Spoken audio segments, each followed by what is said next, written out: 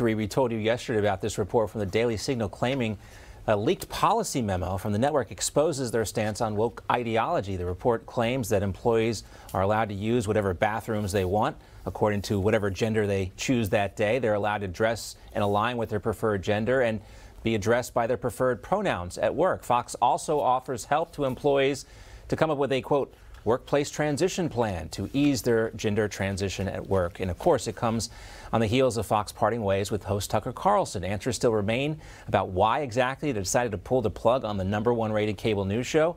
Chadwick Moore is currently writing about Carlson in his new biography, and he says he has the scoop on the real reason why Fox canceled Tucker. Tucker simply responded to that tweet with the iconic eyeball emojis, two eyeballs, as in, look at this. Chadwick Moore joins us now. He is the author of the new Tucker book. Also with us, Mary Margaret Olohan, who is the senior reporter at the Daily Signal, and she broke that story about the policies at Fox News. Great to have you both here. Great to be here. Chadwick, Thank first you. to you, congratulations. I know the book is not out yet, but I understand it's already a bestseller. Yeah, it's already a, a bestseller. It's for uh, available pre-order now. If you go to tuckerthebook.com, you can buy it from uh, Amazon, Books a Million, Barnes & Noble, or directly from the publisher if you'd like, and it will be released on July 18th. Outselling Michelle Obama's book, I believe. Did I see that correctly? Yeah, we knocked Michelle Obama out of the number one slot in uh, political uh, biographies. So um, that was pretty cool. that, that is pretty cool. Well, I can't wait to read it. Um, let's also talk about what you're exposing in the book here. And you say, uh, you posted on Twitter yesterday that there is some information that, you know, can't wait for your book to be released. It comes out on July, July 18th. Tell us what that information is. Right. So this is according to two sources uh, who are um, very close to the situation, who have intimate knowledge of the situation, who both independently confirmed to me that the reason why his show was pulled off the air, uh, he's not fired. He's still an employee of Fox News. He's still under contract. But the reason why his show was pulled off the air uh, was because it was a condition that was in the agreement uh, with the settlement with Dominion Voting Systems. Now, Dominion has denied this. Fox News has denied this. Uh, this has also been reported elsewhere, and it was reported elsewhere. Bef- uh, uh, that I uh, that the reports came out after I already knew this information. There are other Fox producers who are on hidden camera. Those producers are not my sources who have also confirmed this. But my sources who are very close to the situation said this is indeed the fact, and that it came just moments before Fox and Dominion were about to go to trial. Fox desperately did not want to go to trial, and uh, this a, agreement was reached that they would take him off the air as a part of the condition. And Mary, there's, you know, the, the accusations, based on your reporting, is that there's a massive culture change at, at, Fox News. Gone are the old days of Roger Ailes and the kind of ethic that really represented middle America. Today, it's all about the Murdoch family, the top-down management style. What's, what's more important is what happens in New York and Washington, D.C. than what happens in middle America. Tell us what you found in your reporting. Yeah, so what we learned in our report is that it appears Fox is implementing a lot of woke policies through its corporate company handbook. And this, what we heard is that a lot of this is coming from the top. So, for example, in this company handbook, employees are told that they can come up with a workplace transition plan. That means a workplace gender transition plan where they can work with Fox to come up with a plan for when they're going to start using the bathroom that aligns with their gender identity, not their biological sex, when their pro- coworkers are start going to start using preferred pronouns for them, different things like that, when they're going to announce that they're transitioning.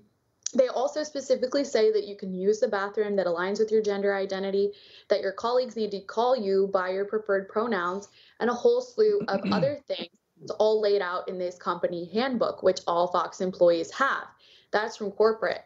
Uh, and we found this really interesting, particularly because, as we all know, Fox likes to talk about these things on air.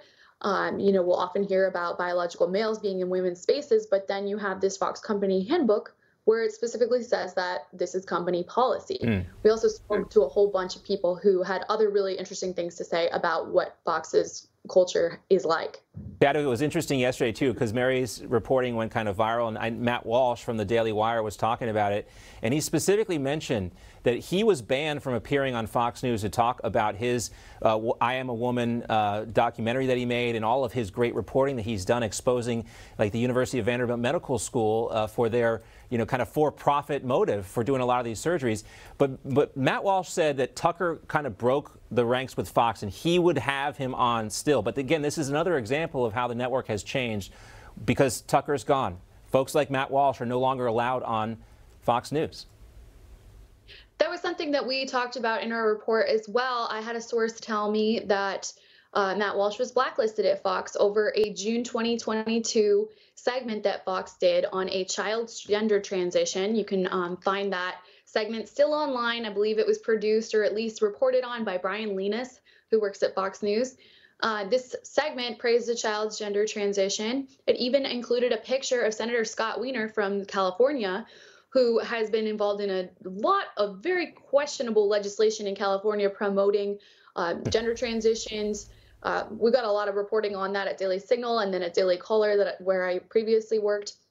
But this segment, when Walsh criticized it, apparently got Walsh blacklisted since June 2022, and Tucker and Tucker Carlson tonight would have him on as much as they could. But producers were told, is what I was told, producers were told that they had to fight to get him on because Fox wasn't a huge fan of him anymore.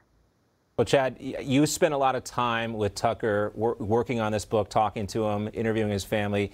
Uh, is there going to be an addendum to the book? Are we going to find out what his next move is when it's released by uh, July 18th? Will we know by then? Uh, yeah, well, the book is fully updated with all of the latest developments. I, have talked to him several times since he got notice that uh, that his show is being pulled off the air.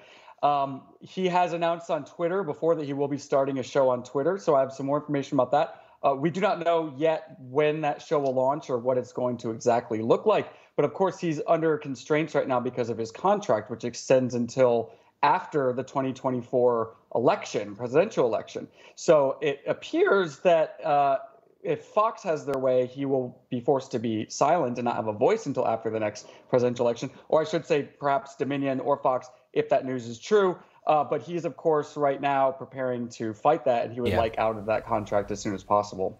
Like an evil medieval king locking their princess up in a tower. That's what they want to do with Tucker Carlson, the information that so many Americans still want. Great to see you.